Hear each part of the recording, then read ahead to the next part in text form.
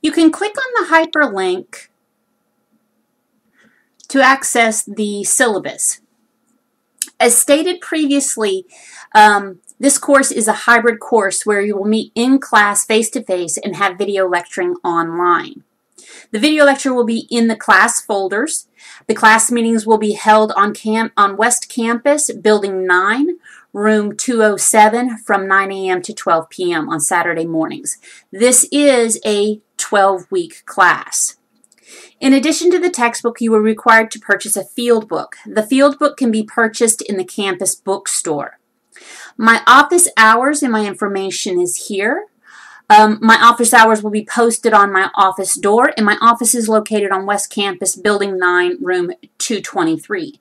Please make an appointment for any office hours, um, as I will be on both West Campus and Osceola campus for office hours. Excuse me. All material for the class, for this class, will be located on Blackboard. Knowledge of Blackboard is necessary to be successful in this course. If you need assistance with Blackboard, please contact me. This course is a combined lecture and lab course and will require individual and group work. now, about the student performances. Um, quizzes are to be completed prior to class. You will have field exercises and there is a field book. If you miss a field exercise, please note 15 points will be deducted from your field exercise book and you will still be required to complete the field exercise procedure report for the missed exercise. There will be a Traverse project.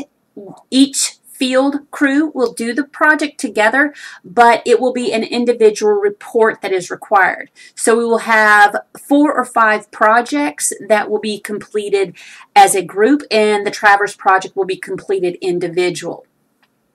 Note again the grading breakdown. So there, your grade is broken into weekly quizzes, the field book and lab reports, the Traverse project, test one, and the final. Please note the grading um, percent breakdown. Now, the learning course outcome for this class is the major outcome for this class is to understand the essential surveying techniques, utilizing specific surveying equipment, and implementing necessary procedures to complete survey projects. Again, the field exercises will be um, throughout the semester, and you really need to take care of the equipment, but the biggest thing is proper clothing attire. You will not be allowed to wear uh, open-toed shoes, sandals, or flip-flops um, during a field exercise. Please review the classroom policy on absences and makeup work. Also, um, the course schedule can be, can be changed, but I'll notify you prior to changing of the schedule if I need to. Typically, I don't. There is a no-show procedure, so make sure that you attend all your first classes. If you miss a class, then make sure that you notify your instructor. In addition, um, your classroom absence policies. If you miss more than three classes, I have the option to withdraw you, and if you leave early or come in late by 15 minutes, that is counted as an absence. Please note the withdrawal date for the class is July the 7th.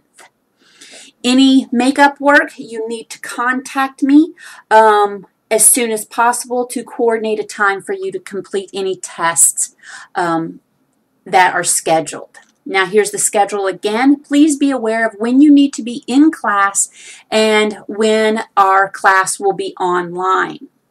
If you have any questions, please contact me via Atlas or send me a message via Blackboard.